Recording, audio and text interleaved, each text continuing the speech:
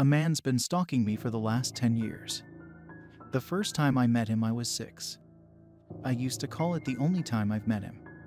And oh, how I wish that were still true. I'm sure that I was six because my green birthday balloon still had enough helium to sag at the same level of my midget tall head. And I hadn't grown tired of dragging it like an enslaved puppy everywhere I went. Into McDonald's. Yup. At the park. Check. To the urinal. Like I said, everywhere. Mom was inside the gas station scrounging around for a semi healthy lunch. And Dad was at the bathrooms. It was probably a bit irresponsible of them to leave me alone, but we lived on the road at this time. And I'm sure they needed breaks. So, after pestering them for hours in my car seat, they assigned me the most important, life threatening job of all supervising the gas nozzle. Parents can have an awfully twisted sense of humor. Both sets of numbers on the filling station screen whirred steadily upwards, the top about twice as fast as the bottom. I was distracted formulating my own brilliant hypothesis on what they could mean when someone spoke. They're handing out licenses younger and younger these days. It wasn't a voice I'd heard before, but there are plenty of new voices in my life. At restaurants, in grocery stores, at gas stations like this one. A big grown up wiped his oil stained hands on his oil stained jeans near the front of our Dodge minivan. I'm only six, I said. Dad says I've got to know how to read all the signs before he'll let me drive. Only six.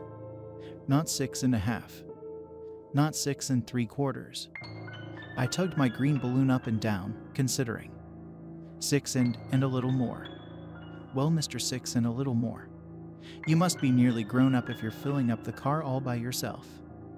Your parents must trust you. I puffed out my chest.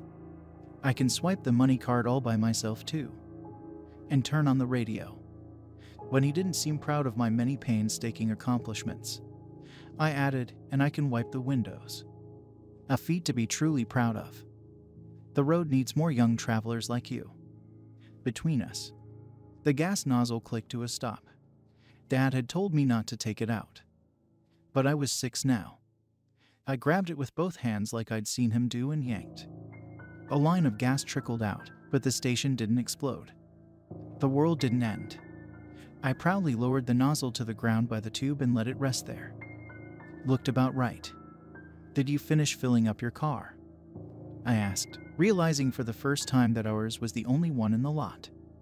I'm here more for business. The worker. My insides lit up. Do you know where the helium is? Helium. The one to put in the car wheels. My balloon needs more. Ah, that helium. A smile pressed his lips. The adult type that I never understood. Shall we go find it together? He held out a hand for mine, and for the first time, I hesitated. Your balloon, he clarified. Oh. I handed it to him and followed behind. He was, after all, a grown up.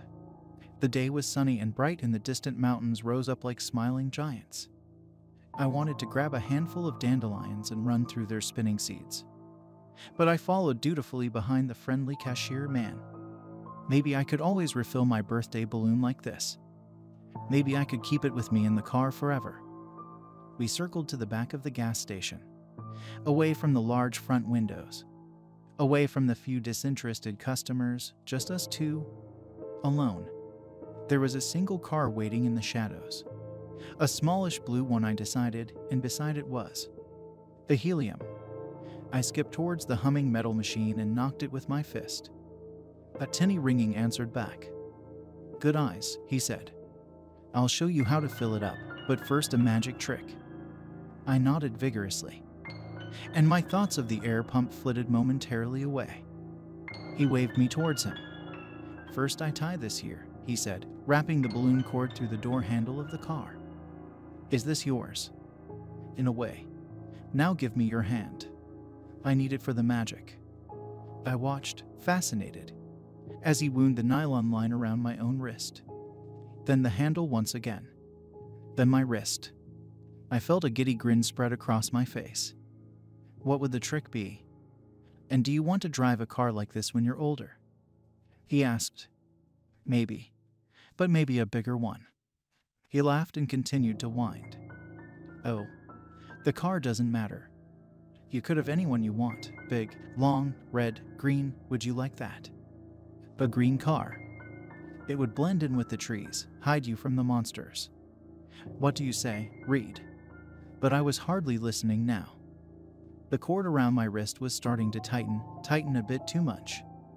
Was the trick going to be done soon? What was taking so long? The important thing is that you stay on the road, he said. I mean it when I say it needs more people like you, young. Excited, not afraid to take risks. It isn't the life for everyone, but it could be for you. It's starting to hurt. I said. Is it? He said absent mindedly. It's too tight. Almost done. He pulled the string through the final loop and tied the two ends together once, two, three times. The green globe of my balloon bobbed just beneath my wrist, and its cord cut painfully into my skin. And there we are. Can you finish now? He leaned his face down near mine. It struck me just how unfamiliar this man was and not just his voice. He felt different than other strangers. Bigger. Too focused on me. I wasn't sure I wanted to be here anymore. I just need you to make me a promise first. Some leave in the end. Some buy proper houses and tear up their license, but I'd prefer if you didn't. I'd prefer you to stay on the road. Can you do that? Take it off. I said, tears welling up in the corners of my vision. I want to go. Promise me you'll stay, Reed. Promise you'll stay with me. I promise. Let me go. He patted my free shoulder and nodded approvingly. Then he backed away from where I was stuck. Step by calculated step. Please, I said through shuddering breaths. Please.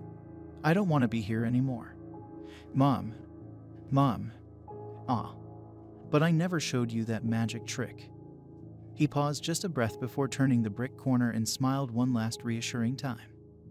It's something I assure you that you've never seen before. And then I was alone. At first, I was frozen.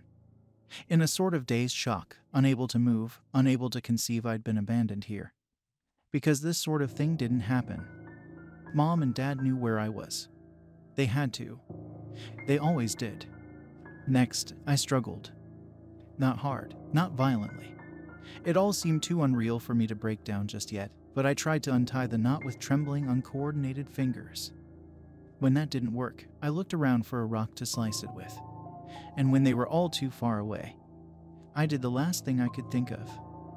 I'd been trained well in the ways of road manners, and the civilized part of me hesitated to open a stranger's car without permission.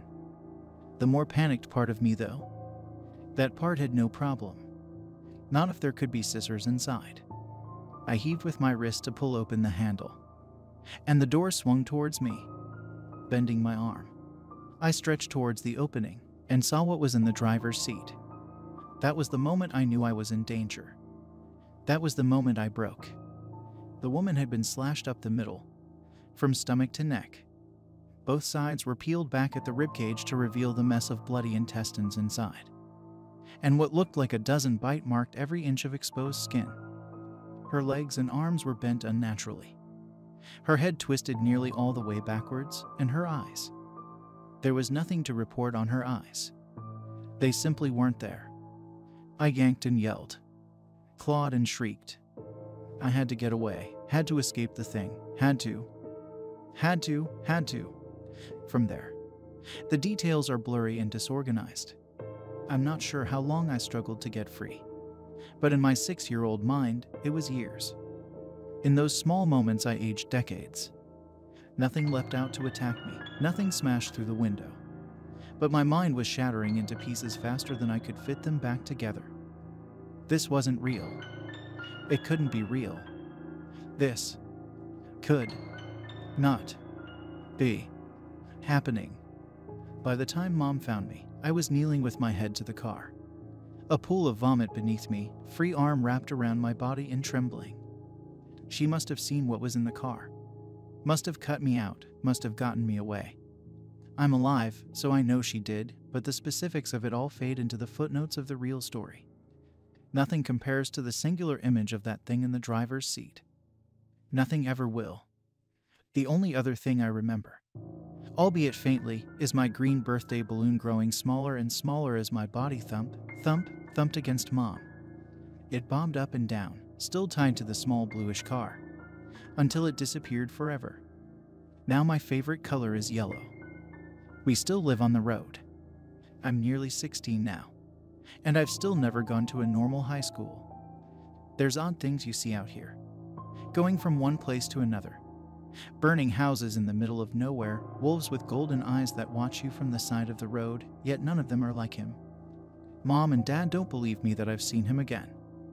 They say it's my imagination projecting six year old nightmares onto the faces of hitchhikers or restaurant workers. But I know I have.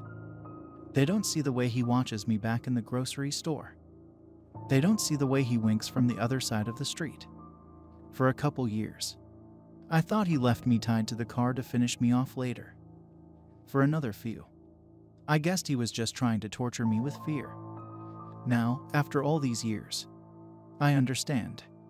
The reason he brought me to his victim then. The reason whenever I track news of the places I see him.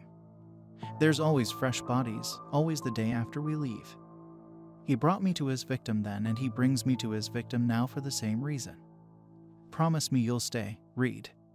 He'd said, Promise you'll stay with me. See, he does want me to stay on the road. He wants me to be there as he slices them open. He wants me to be there as he burns them to the ground. Because as many of them as he hunts and tortures and kills, he still needs an audience to watch him do it.